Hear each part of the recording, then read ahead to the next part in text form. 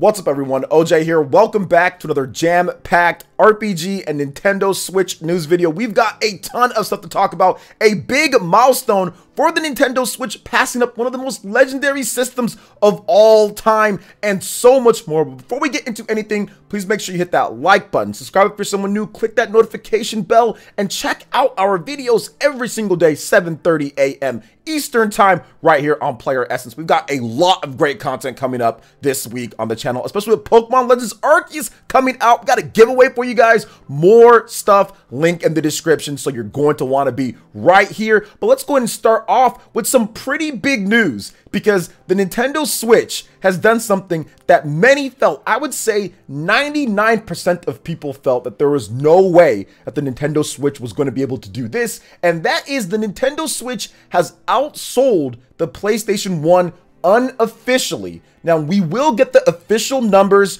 for how Nintendo did up to the end of December in February. So we should be getting that pretty soon here in the next week or so. We'll be getting those numbers from Nintendo, but VGChartz, which is unofficial, but they have a pretty good track record of tracking right around the sales of where systems are because they use just the general numbers that are being shipped out there from their estimates and also what the companies state themselves as well and the rate of sales. So let's go ahead and get into this here. William D'Angelo has the beat on it. The Nintendo Switch has outsold the lifetime sales of the PlayStation, aka PS1 or PSX, according to the chart estimates. The Nintendo Switch sold another 341,662 units for the week ending January 15th to bring its lifetime sales to 102.81 million units. This compares to the PlayStation with the sales of 102.5 million units lifetime. The figure for the Switch includes the combined sales of the original Switch model, the Switch Lite, and the Nintendo Switch OLED. Nintendo's hybrid console has now become the fifth best selling video game platform of all time. Next up is the PlayStation 4, which has sold an estimated 116.58 million units to date. Then the Game Boy plus the Game Boy Color at 118.69 million units. Now, the Nintendo Switch is 13.77 million units away from the PlayStation 4 and 15.88 million units away from the Game Boy. Now, if you break down the sales of the Nintendo Switch, it has sold 34.67 million units in the US, 27.22 million units in Europe, and 23.43 million units in Japan. Breaking down the sales in Europe even further, it has sold 5.21 million units in the UK, 6.11 million units in France, and 5.93 million units in Germany. Now, shipment figures for the Nintendo Switch reached 92.87 million units as of September 30th, 2021, which Nintendo did report. And Nintendo also stated that 681 million units of Switch games have been shipped lifetime. And of course, the top 10 is big. You got games that have sold 30 million, 20 million in the teens as well. But I do want to talk about this because this is very interesting with this. The Switch is probably going to leapfrog two other systems before it's even hit its sixth year on the market. That is absolutely incredible, and nobody would have ever thought that the PlayStation 4 would be beat by the Nintendo Switch in less than six years because right now we're about to hit the fifth year, complete fifth year anniversary of the Switch that launched in 2017. We're going to 2022. So if you look at what they stated here, the Switch is about 13.77 million units away from the PlayStation 4. Well, the Switch has been selling around 20 something million units each year. So 13 million units won't be too hard to get to. Nintendo moves around 10 million units at the last three months of the year anyway. So we know that they're going to hit the PlayStation 4.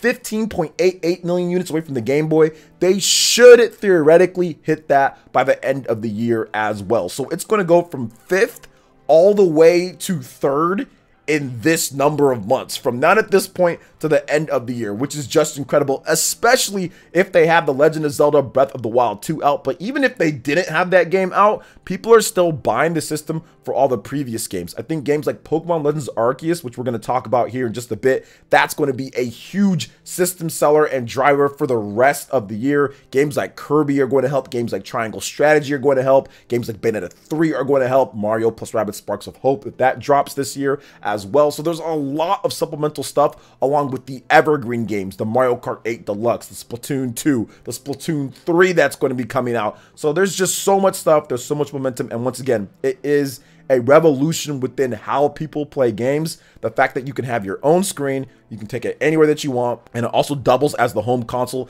as a true hybrid is just something that none of the big three have done to this capacity, and it worked out well for them. And that is the gimmick going forward, at least for right now at this point, till it doesn't work anymore. So this is big. This is big because nobody thought the Nintendo Switch could do this, and it's doing it, and it's doing it faster than any other system in the history of systems out there. The Switch has a legitimate shot to catch the PlayStation 2 and it has a shot to catch the Nintendo DS. Now, it's going to take another good year and a half or two years or so of solid sales, but by the end of this year, the Nintendo Switch should be at around 120 million or so. I would say right around that number, 119, 120 million. So that means it would need about 30 million plus more, right, for the rest of it. So it would have to have another good year then into the following year. So I think it's possible, especially if you look at it, the fact that it's selling so quick at this point, and also when the next Switch comes out, the previous Switch is still going to sell. You're still going to have Switch Lites. You're still going to have those systems, and those are going to go on fire sale. So I think that it is going to become the best selling system of all time. When it's all said and done, after all the dust has settled, I think that it will be just because Nintendo's going to want to push that even past when the Switch 2 comes out. So I think that it will. But those are my thoughts on it. What do you guys think about this pretty crazy accomplishment that the Switch has done? Let me know your thoughts in the comment section below. All right, and moving on to the next topic here. We've got a final trailer for Pokemon Legends Arceus that shows some silhouettes for some possible new versions, not even possible, new versions of the final evolutions, which is really cool. So they don't show it, and this is no spoiler. This is not a leak. This is not somebody who's played the game early or anything like that. This is what the Pokemon Company showed, where they say Hisuian Final Starter Evolutions Pokemon Legends Arceus. Let's freaking go. The Pokemon Company Game Freak, the final trailer. The game is dropping on January 28th. And to answer so many questions out there, yes, I will be streaming the game. Yes, I'm super hyped for the game. Yes, I think that this is going to be the series that moves Pokemon going forward. They're going to have two separate things. They're going to have the regular Pokemon line of games, how we have the two different versions, the Sword and Shield, the Red and Blue, all of that type of stuff. We're going to have that, and I think that that is going to take some elements from Pokemon Legends. I have not been looking at all of them. There's just been some things, quality of life stuff, that I've really enjoyed what they've done with this game, and even what the Pokemon Company has showed in their overview trailers and everything, that they're going to take some of that stuff and put it into the regular mainline Pokemon games and then advance those elements for Pokemon Legends. In my opinion, there's no reason. After Pokemon Legends drops, there's no reason for the Chibi remakes anymore. There's no need to go back and Chibi remake those type of games, which that came out beforehand. You didn't know how Legends and people were going to respond to that. So I understand getting a different company to do that. And obviously you make more money doing that. But in my opinion, there's no reason to do those anymore. And what you need to do is just go forward with the regular Pokemon games and the Pokemon Legends games and taking those games and remaking those regions and going back in time. But I do think that there is somewhat of a need for the Chibi games because you get faithful remakes with the multiplayer intact. So I think that some people want to see more of those, but I think that maybe games like Let's Go, there's no need for stuff like that. I think that going forward with the regular Pokemon games, the generations with the two different copies, also going forward with Legends and also maybe the Chibi remakes for some of those, that's what you can do. But we will see. There are rumors of Pokemon Let's Go, Johto, and all of that. So we'll see if they stick to that. But to me, I think that Legends is where it's at. They need to evolve this franchise. Once it's out, they need to start working. Obviously, they have the next generation of Pokemon that they're working on. But then after that, go back to Legends because this game is going to be incredible. Based on what I've seen so far, I am super sold. I'm going to be streaming the game. I love this final trailer. I love how that they mixed up, they mixed up some of the final evolutions and what they're doing here. So I'm very much happy with this game. Yes, there's stuff to be improved. Don't get me wrong. Obviously, the graphics, that can be stuff that people have talked about in terms of improvement. I think that they need to do that. I think that there's probably other things that can add in to make the experience better as well. Obviously, stuff like presentation-wise, the voice acting. But man, this is a very good start, and I am excited to stream the game for you guys and play it. This Thursday or Friday. I know that I can get the game, I think, in Australia they do the game a bit earlier since they're like ahead of time, like a lot more ahead of time than like the rest of the world, or at least where I'm at. So I'm probably going to do that. And then, of course, I'm going to be doing my giveaway, which there's a link in the description for you guys. And I will be streaming the game normally as well. So I'm just going to be constantly streaming the game and having fun playing it. So make sure you follow me on Twitch, Player Essence on there. Make sure you hit the subscribe button if you're someone new, and of course, enable those notifications as well for Pokemon Legends goodness, because we're going to be 100%ing this baby like crazy. So, what do you guys think about Pokemon Legends Arceus that's coming out this week? Are you picking it up? I have a poll on the channel. You can go vote on the community poll as well. Let me know in the comment section below. All right, and moving on to the next topic here, guys, we've got a big demo for a highly anticipated Japanese RPG, Monark, for the PlayStation 4. PlayStation 5, and Nintendo Switch. The demo is available in Europe and North America.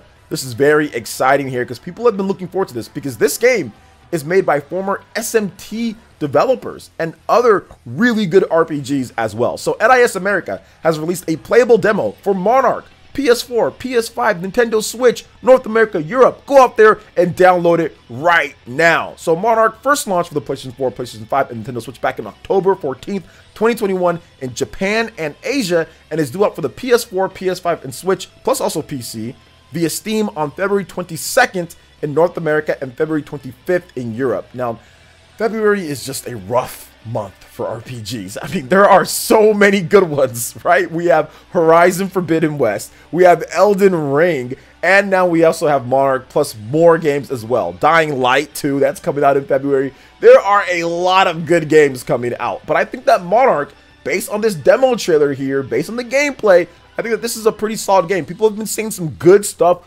about Monark on the Switch, PS4, PS5. I'm going to download the PS5 demo tonight and check it out. I'll probably have a video for you guys. And I'm also going to play it on Switch, maybe do some comparisons and talk about it from there. But overall, the game is looking really solid. I'm excited for it. I'm going to definitely play Monark at some point just because there's so much stuff coming with Horizon Forbidden West and all of that. I want to really play that game. But it seems like that comes out a little bit beforehand. So I won't be done with it, but I'll still check out Monark even when it launches. Like I'll probably have a review code for it, so I'll check it out for sure. But this demo trailer is looking pretty good. So what are your thoughts on Monark and the demo? If you've checked out, if you've played it, let me know in the comment section below. All right, and moving into the next topic here, we've got some more action RPG goodness for you because Stranger of Paradise Final Fantasy Origin, the basics of battle trailer, and also a new final trailer is out. But I will be honest here, guys, that final trailer was bad in my opinion because it's just a convoluted story where they mismatched all sorts of stuff, not trying to spoil the game for you, and it didn't make any sense, which a lot of these final trailers don't make sense if you don't know what's going on and everything, and I completely get that, but I don't think the final trailer sold the game. So I don't care about the final trailer because I'm going to play this game just because I like Final Fantasy, I like action RPGs, and the game looks fun based off of the basics of battle trailer. You got to look at the job abilities, the skills, the progression. This is what this game needs. This is a Nioh style Final Fantasy game made by the Team Ninja dudes and everything like that, and it's about the gameplay. Yes, you have the story. Yes, it's setting up the original Final Fantasy. Yes, I get all that, and maybe the story's incredible. Maybe it's going to be a really good story-based game, but from what I see, I see content, I see gameplay, I see action. That's what I see, and that's what this game is about. And that's what I felt that Nioh and Ninja Gaiden and all these games that Team Ninja make, the strong suit is the gameplay and the combat, not the story stuff. So I wasn't impressed with the story, but I'm very impressed with the combat in the game because it looks really refined and polished from the original demo that came out. So publisher Square Enix developer Team Ninja have released a new trailer for Stranger of Paradise Final Fantasy Origin introducing the basics of battle. If you missed it, you can check out the final trailer, like I said, as well. Stranger of Paradise Final Fantasy Origin is due out for the PS4, PS5, Xbox Series, Xbox One, and also PC via Epic Game Store on March 18th. And of course, there's plenty of content to check out on the game when it comes to the gameplay and the demo and everything that's been going on. And yes, you can talk about the graphics of the game. It's not up to where the PS5 is capable or the Xbox Series is capable. It's clearly a PS4 game and even kind of looks like one of those like mid-level PS4 games at times, but that's so the gameplay can be incredibly smooth. Like the frame rate looks really good. It looks like it holds up. There's a lot of enemies on screen. There's a lot of stuff and special effects going on. You want to make sure that this game plays completely perfect because of how much action is happening and all the effects with multiple characters on screen by the way. It's not like you have just one character on screen and that one character is doing everything. You've got a bunch of characters on screen. So to me it makes sense that they're really prioritizing the frame rate and the prioritizing the gameplay more so than anything and making sure that it can run across all the different platforms from the Xbox One all the way to the PlayStation 5. So I get it for those that are kind of upset about the graphics, but gameplay wise, it looks like it's a crazy Nioh based Final Fantasy game. So that's definitely a good thing. Two thumbs up on that. So, what are your thoughts on Stranger of Paradise, Final Fantasy Origin, and the gameplay in there, the basics of battle, and what you can do? Are you going to kill chaos? Are you going to look for chaos? Are the memes ready? For what we have in store or for what Square Enix has in store. Are we ready for those memes that are going to come? Because you know this game is going to deliver all sorts of weird dialogue that you're just like, okay, sure. And it turns into a meme online because you know it's just going to happen. And like the Square Enix PR team is taking advantage of that. They've been making chaos jokes and all of that. So we'll see what happens with this. What are your thoughts on it? Let me know in the comment section below. All right, and moving on to the final topic here, guys. Aztech Forgotten Gods. Remember this game from the Nintendo Indie World presentation?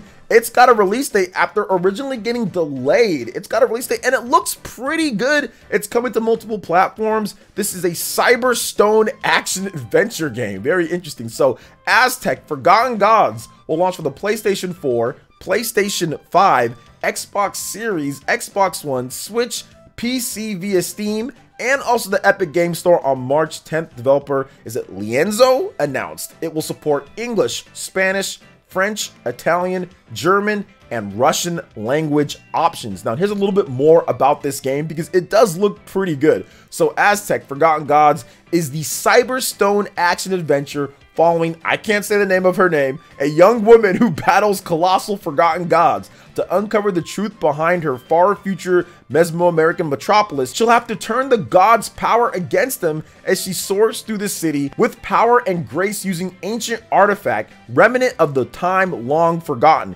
Here are the key features in the game. Exhilarating verticality and mobility. Launch yourself into action with mysterious technology that will allow you to uncover ancient secrets in a city ripe with exploration a unique futuristic Mesoamerican setting, explore the modern Aztec city that has thrived for centuries as a stone metropolis, technologically advanced yet heavily rooted in ancient tradition. Massive bosses. Who doesn't love massive bosses? Face off in electrifying battles against gigantic creatures resembling deities from the Aztec pantheon. Deeply involved narrative. Join the girl, the main character, in an emotional journey filled with twists, turns, and high octane action as she fights to protect her city from the forgotten gods. Refreshing perspective of the Aztec mythology. Dive into the fascinating Mesoamerican inspired world and see Aztec lore like you've never seen it before. You guys know I am a huge history buff. So I love history stuff. I love looking at it and I love the Aztec and all that stuff. And this game looks really nice. It looks really nice. It looks like it's going to be a lot of fun. Some of the animations might be a little bit funky in some of the cutscenes, but overall, looks like it's going to be a really cool game. So I'm looking forward to seeing exactly how the gameplay plays out and everything with it. I was impressed with it at the Indie World presentation. So I think it should be a solid independent title when it launches on March 10th. So what are your thoughts? when it comes to everything that we discussed here. From the Nintendo Switch passing up the PS1 unofficially at this point. Pokemon Legends Arceus and the final gameplay trailer. Is it hyping you up to play? Monark, Stranger of Paradise, Final Fantasy. There's a lot of great RPG content, a lot of cool Switch stuff as well. What do you guys think about all this? Let me know in the comment section below. All right, guys, that wraps it up for this one here. Thank you so much for watching. I do appreciate it. Please make sure you hit that like button, subscribe if you're someone new, click that notification bell, and we will see you for the next video. Peace.